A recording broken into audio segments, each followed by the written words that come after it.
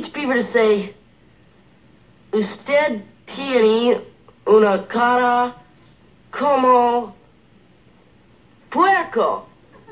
Well, what's it mean? You have a face like a pig. She has a face like a pig. To hell with that idea.